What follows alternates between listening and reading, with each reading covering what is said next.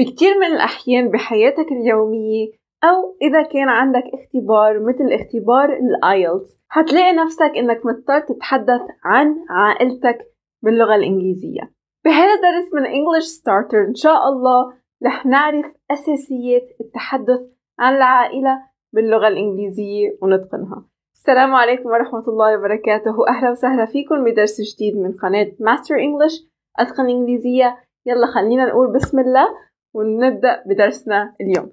إذا أول أول شيء ممكن تنسأل لما تتعرف على شخص أو حتى بالاختبارات الإنجليزية how many how many شو يعني how many يعني ما هو عدد؟ كم؟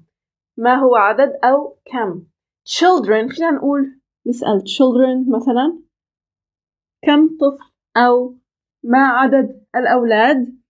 أو مثلا siblings siblings لاحظوا لي إنه الكلمة الاسم الذي يأتي بعد how many رح يكون بالبلورال بالجمع وليس بالمفرد How many children أو siblings do you have?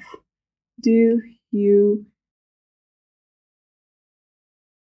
How many children or siblings do you have? كيف فينا نغير هذا السؤال حتى يفيدنا بحياتنا اليومية. مثلا How many cups of water كم كوب من الماء do you want? تريد. إذا how many cups of water do you want? إذا بنغير هون بنغير الفعل. طبعا هنا لنجاوب. بدنا نبدأ بالفعل. نبدأ بالpronoun أو الاسم ثم بالفعل. شو الفعل هون؟ هو have. بمعنى لديه لديك.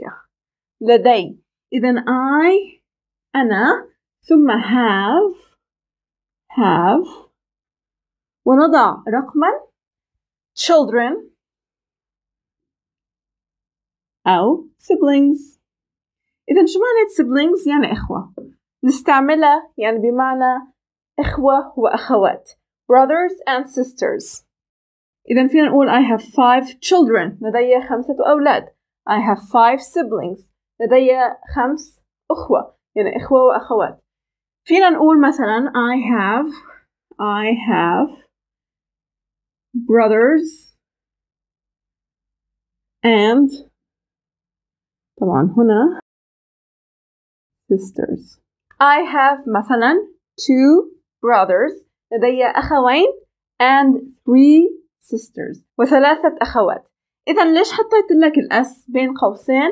إذا كان عندك أخ واحد مثلا أو أخت واحدة رح تقول I have one brother من دون الأس and one sister وأخت واحدة. إذا هيك بنجاوب على how many children siblings do you have مثلا how many cups of water do you want? I want two cups of water. أريد كوبين من الماء. طيب ممكن تنسأل أيضا عن حجم العائلة. فحيسألوك do you have do you have a large large يعني كبير أو فينا نقول a small بدلا من large صغير family. هل لديك عائلة صغيرة أو عائلة كبيرة؟ فينا نقول كيف نجاوب؟ I have كمان الفعل هو I have كمان الفعل هو have.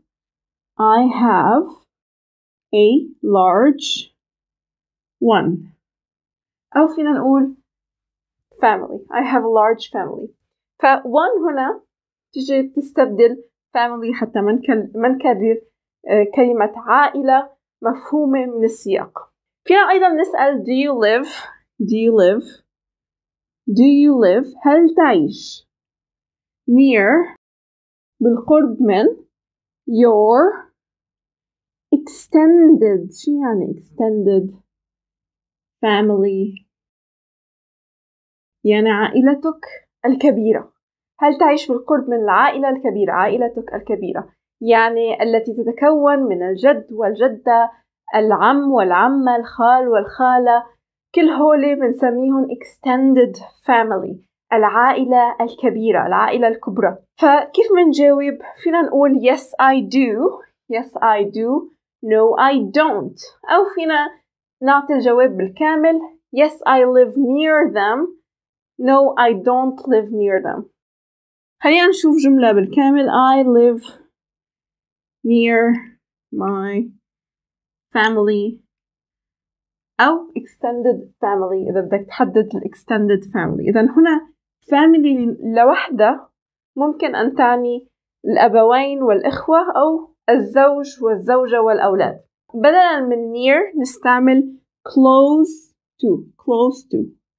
I live close to my family.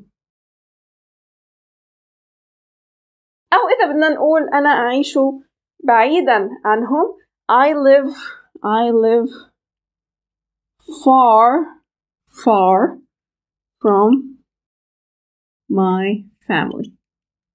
ممكن نقول extended family إذا عم نتحدث عن extended family. ممكن أيضا إذا بدنا نحدد مع من نعيش فينا نقول I live with I live with يعني أنا أسكن مع كذا فينا نزيد and كذا. مثلا I live with my wife زوجتي and kids. أو children. يعني ممكن نقول kids بدلا من children.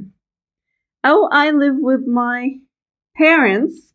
يعني الأبوين parents and siblings والإخوة. إذا هول هن أساسيات لنتحدث عن العائلة باللغة الإنجليزية. اللي حابب يعمل screenshot رجاء أعمله screenshot وإن شاء الله سأقوم بإرسال صورة نظيفة غدا على تليجرام فيسبوك ويوتيوب شكرا كتير لكم وبشوفكم إن شاء الله قريبا بدرس جديد من English Starter. إذا حابب تتعلم المزيد معي منصحك تشاهد هالدروس. ليوصلك الدروس أول بأول. اضغط على هذه الدائرة مو سبسكرايب فعل الجرس. ويلا أراكم قريبا إن شاء الله. السلام عليكم.